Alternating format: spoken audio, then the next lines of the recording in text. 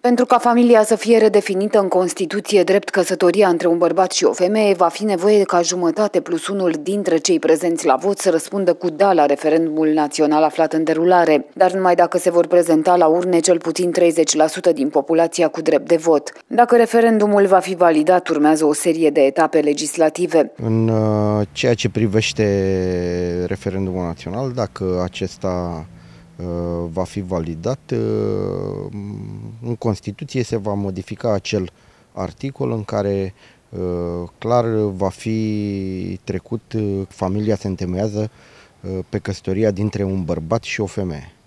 În ceea ce privește referendumul local, dacă acesta va face pragul și va întruni 50 plus 1 din cei prezenți cu da. Referendumul local va fi validat în aceleași condiții ca și cel național. Dacă acest lucru se va întâmpla, atunci procedura va fi una diferită, care se va finaliza prin elaborarea unei legi. Validarea se face printr-o lege în Parlament care va conține două articole.